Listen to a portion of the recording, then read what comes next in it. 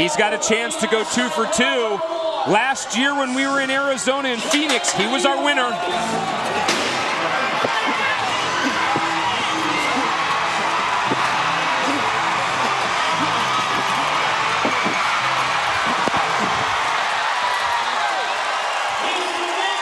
This crowd knows greatness when they see it.